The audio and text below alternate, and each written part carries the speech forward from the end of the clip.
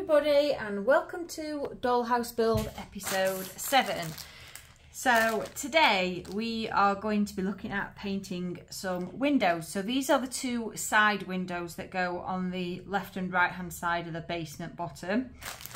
Um, and let's have a look, if we take one out, what we've got. So there's quite a few parts that come with these. Um, that's the little frame there. Presumably that is the frame then which goes on the inside of the basement. Um, now they will be being painted white, so I'll just put them to one side. Um, and then I've got these very, very thin strips. I'm not exactly sure what they're for yet. And I have a small strip here, and then this is the main window assembly. If you saw the un unboxing, we had a look at these because I love these windows. Um, so that's the bottom frame, which just slots on there. And then it has working sash windows, which are beautiful. Um, let's just slide those out there. So we have a top one and then a bottom one. And you can see the top one goes in there. Uh, okay, there's some other bits in here as well. So that's the main framework there. And then we have two areas where you can see in there where the actual windows sliding. So one at the front, one at the back. Um, so let's just put that to one side a minute and those little bits and have a look at these windows. So that's the top window with the nice archway on there and then that's the bottom window and I think that goes on the front and that goes on the back. Uh, ah, right, okay, I've worked out what these little areas are here. Ah, that's very clever. okay, so the whole thing comes apart, even the acetate, which is brilliant because I was panicking a bit about how I was going to paint these frames and not get paint on the acetate.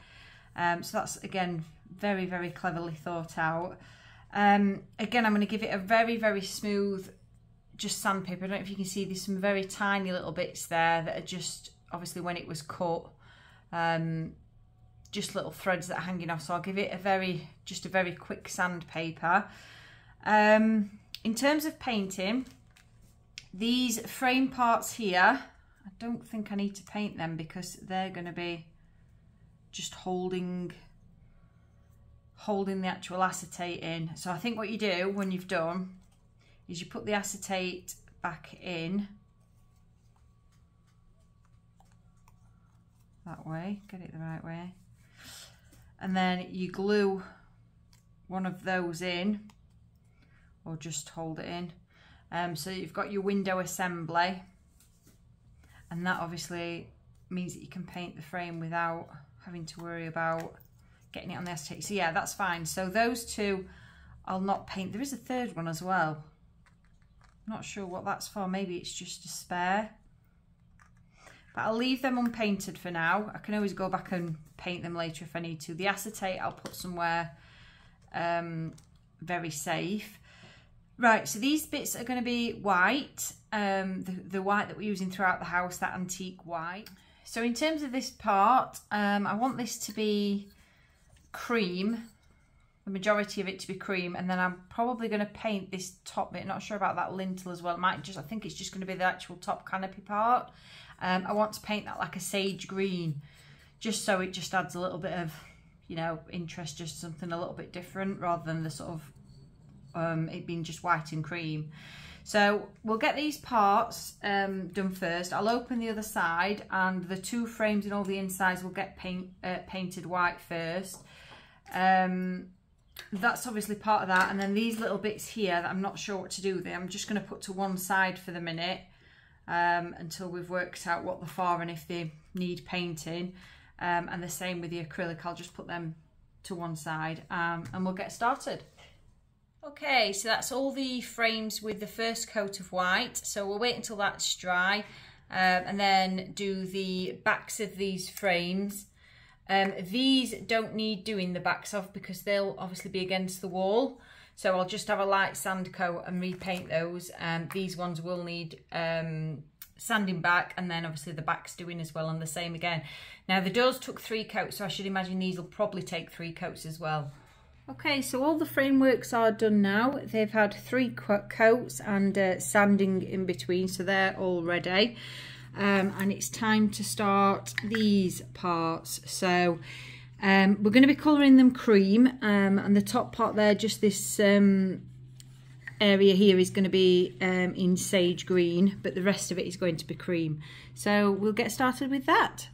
Hello, so I thought I'd just give you an update of where we are so far.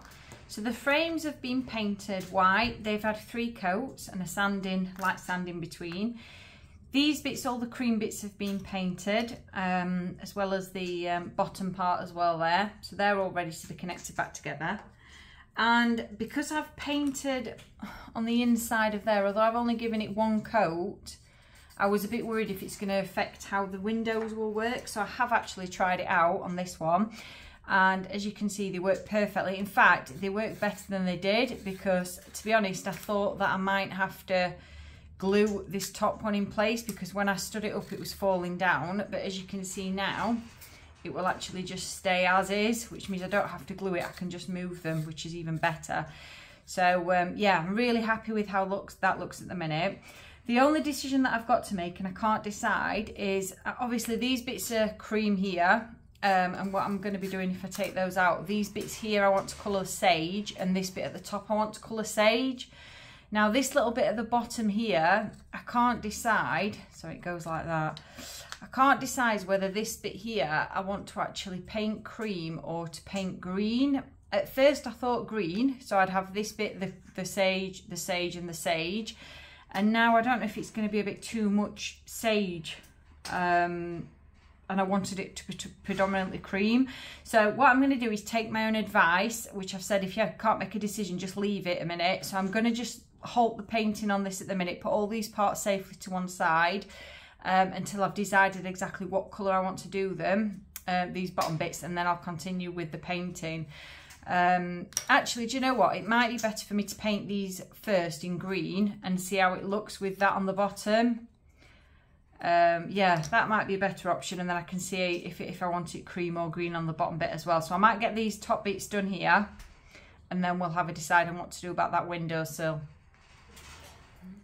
So here it is with the green that I wanted to paint on there. So I'm quite happy with how that looks.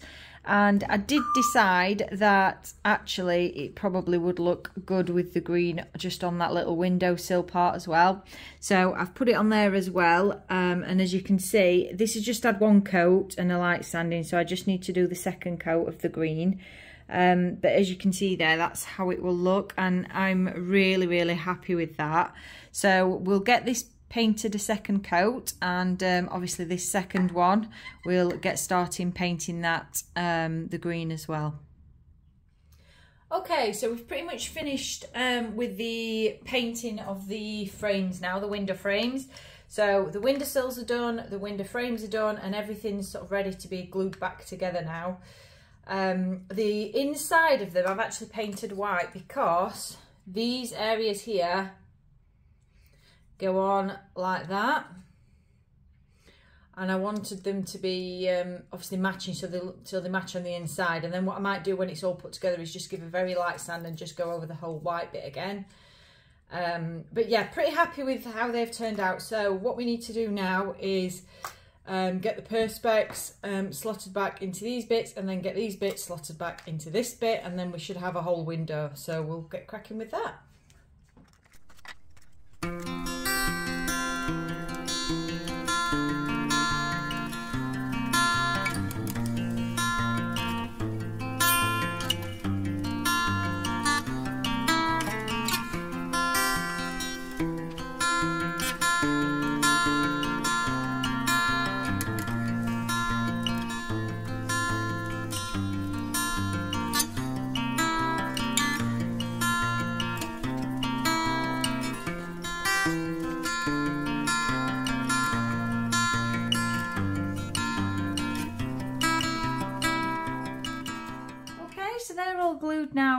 together and uh, fitted and everything is working as it should so really happy with those Um, I do have these little bits of wood left and I think what these are, these are like the little bits I put in the side where the glazing was.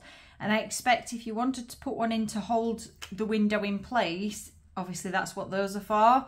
But I haven't because I think putting that paintwork in, in these grooves area just gives it that little bit of um, friction that's going to stop it from falling down. So you can open them, but you, you do have to pull on them rather than just falling. So yeah, really, really happy with how they've turned out. Um, so yeah, that's another job completed. Thanks very much for watching. And uh, I think in the next episode, episode 13, we need to be starting to assemble